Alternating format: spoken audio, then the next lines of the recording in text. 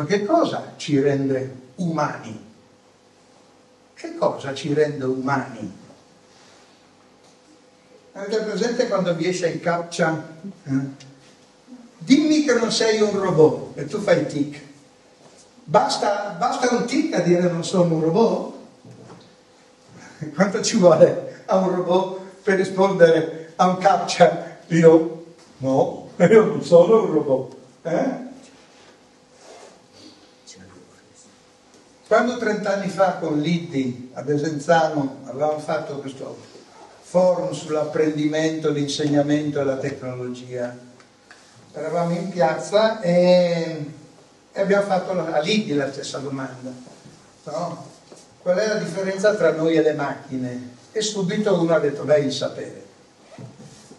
E lei ha detto, mm.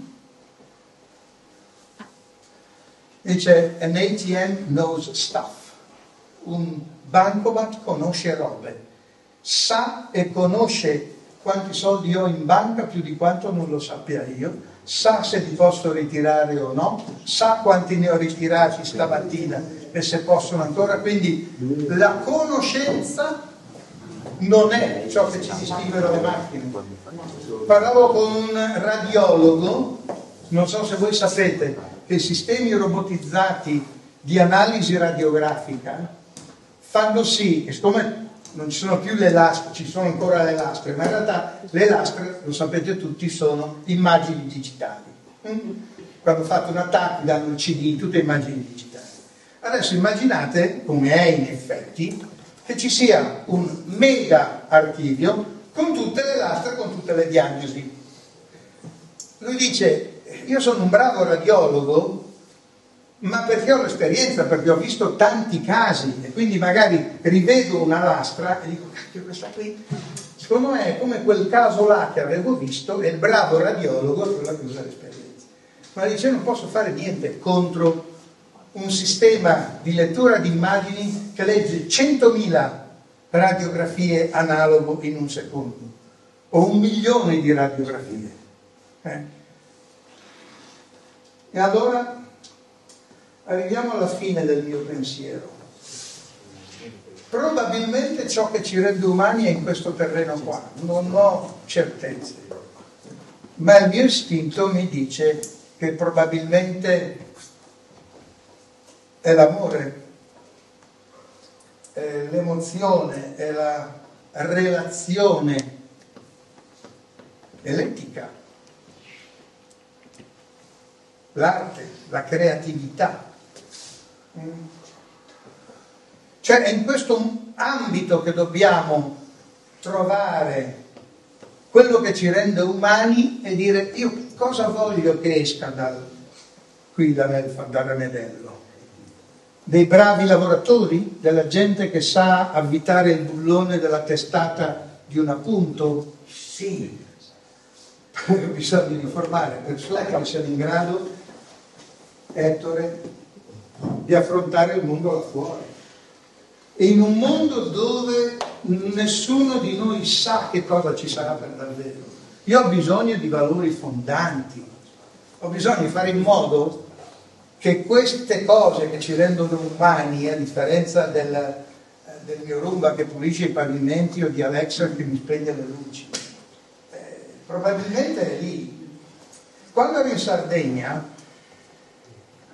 mi è stata detta una frase dal, dal quasi Nobel con cui lavoravo, eh, ogni mattina facevamo colazione assieme e quando fu fatta un'ulteriore scoperta di quali erano i geni che generavano la, una forma di diabete, una scoperta sensazionale, cioè, era molto contento. Faccio, eh, Paolo, ti vedo contento. Sì, fa perché ogni volta che facciamo una scoperta spostiamo Dio un po' più in su.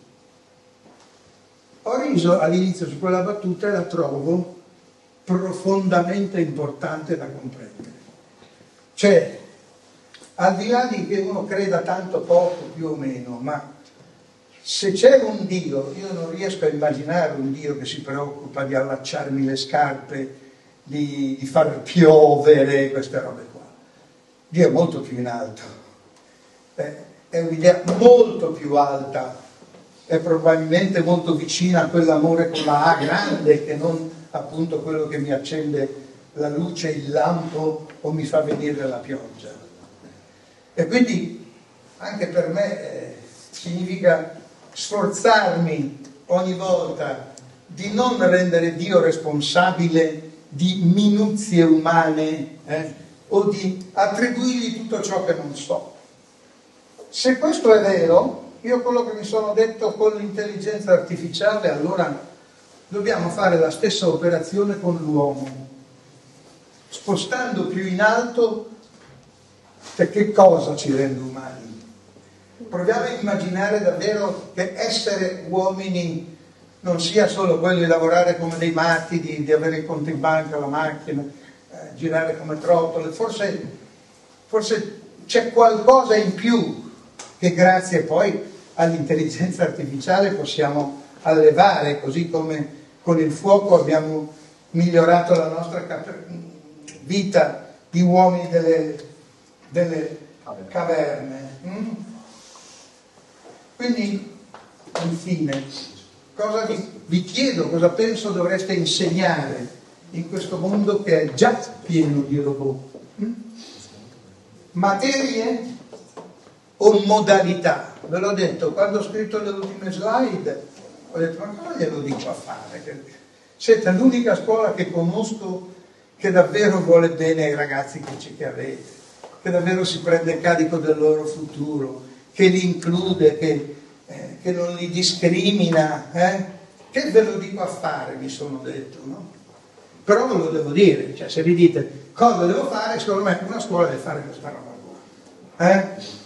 E tra l'altro ancora di più di prima non banalizzarlo, perché è maledettamente importante.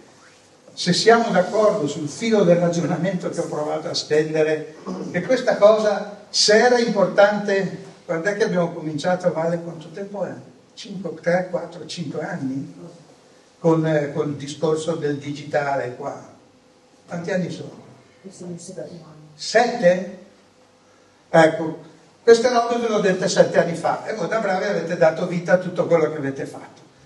Per la serie, quella roba lì ancora di più, ancora di più. E non è una materia, è un modo che vi chiedo, rafforzare ancora di più i concetti di inclusione, di fratellanza, di umanità, di comprensione, eh? ma soprattutto quella cosa che secondo me più di ogni altra poi nella modalità ci distingue dalla macchina, la curiosità.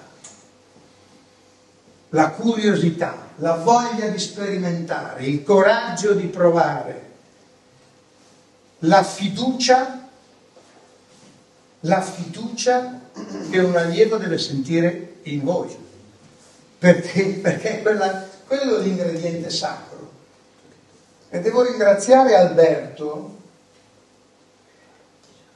perché un giorno quando eravamo a mangiare gli ho detto insomma c'è una cosa, lui credente, io mica tanto, e gli ho detto c'è una cosa che non mi piace Alberto, pensare che ci sia solo un creatore che sia lui, perché questa esclusiva della creazione non mi... Ho detto no, no, non è mica vero. Guarda che Dio si riferisce a noi come creature e in latino creaturus è colui che creerà. Cioè Dio ha fatto noi come soggetti che creeranno. Quindi la creazione non è un'esclusiva, divina mi ha detto, anzi è la parte di divino che c'è negli uomini. Devo dire che come spesso accade Alberto mi ha messo un famoso sassolino nei miei ingranaggi eh? e, e, questa cosa mi, mi convince ancora di più, perché la capacità di creare, la capacità di inventare, di immaginare mondi, mh, hm, sono forse quello che dovete fare più di ogni altra cosa. Poche parole, poche competenze. Non, non preoccupatevi, se non hanno le competenze chiederanno a una qualche intelligenza artificiale qual è il raggio della sfera Siri. Eh?